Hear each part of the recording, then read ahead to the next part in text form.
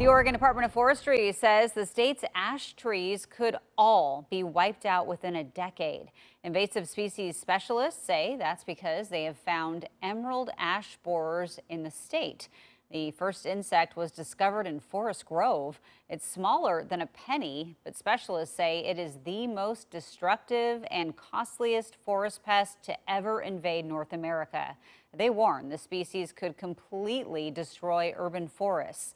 ODF recommends removing any ash trees that are already weak and planting resistant species in their place, like Oregon white oak, incense cedar, and Chinese pistache.